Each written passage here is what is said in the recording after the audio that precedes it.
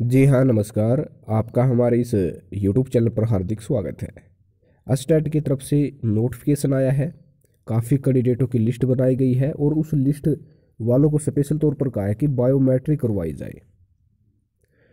तीस दिसंबर से लेकर दो जनवरी तक किसी भी ज़िले में जाकर बायोमेट्रिक करवा सकते हैं।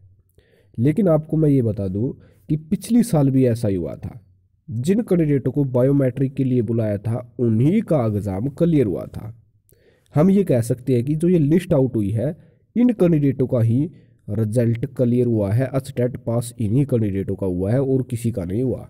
आपको पता है कि एग्ज़ाम जब दिया था, उस समय भी बायोमेट्रिक हुई थी और प्रशासन ने एक साल पूर्व ही ऐसा रवैया कर लिया है कि जिन कैंडिडेटों का एग्ज़ाम क्लियर होता है, उनका फिर से बायोमेट्रिक करवाया जाता है।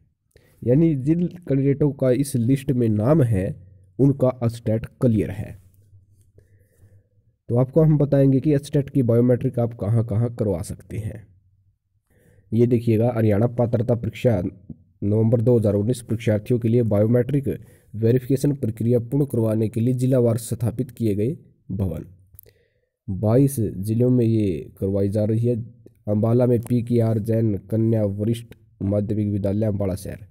भिवानी में अध्यापक भवन, हरियाणा विद्यालय शिक्षा बोर्ड कैंपस में करवाई जा रही है बायोमेट्रिक फरीदाबाद में जिला शिक्षा अधिकारी कार्यालय सेक्टर सोलह, फतेहबाद में राजकीय कन्या वरिष्ठ माध्यमिक विद्यालय फतेहबाद, गुरुग्राम में राजकीय वरिष्ठ माध्यमिक विद्यालय नज़दीक बस स्टैंड गुरुग्राम इसार में जाट वरिष्ठ माध्यमिक विद्यालय नियर फोरा चौक इसार जज्जर में राजकीय वरिष्ठ माध्यमिक विद्यालय जज्जर, जींद में राजकीय वरिष्ठ माध्यमिक विद्यालय जींद, कल्याण में डीएवी वरिष्ठ माध्यमिक विद्यालय लड़के करनाल केथल में राजकीय वरिष्ठ माध्यमिक विद्यालय केथल।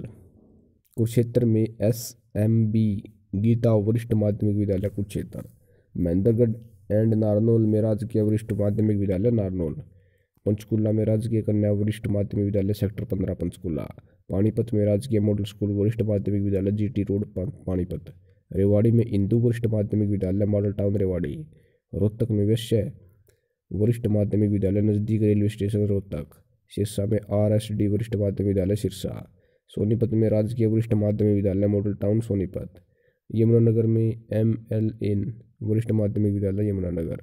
नू में हिंदू वरिष्ठ माध्यमिक विद्यालय नू। पलवल में राजकीय वरिष्ठ माध्यमिक विद्यालय बाल पलवल। चरखी दादरी में राजकीय वरिष्ठ माध्यमिक विद्यालय चरखी दादरी इस प्रकार आप बायोमेट्रिक करवाने के लिए किसी भी राज्य के सेंटर में जा सकते हैं। अगर आप दूसरे राज्यों से हैं तो अपने निकटवर्ती ज़िले में जाकर वहाँ पर बायोमेट्रिक करवा सकते हैं। आपको ये भी बता दें कि बायोमेट्रिक के लिए जिन कैंडिडेटों को बुलाया है, बस वही कैंडिडेट पास हुए हैं। जब रिज़ल्ट आएगा, तब आपको स्पेशल रूप से पता चल जाएगा। जो कमेंट्स गलत कर रहे हैं, उनके लिए आग्रह है कि एक बार आप अपनी बुद्धि का प्रयोग करें, उसके बाद में कमेंट मारें।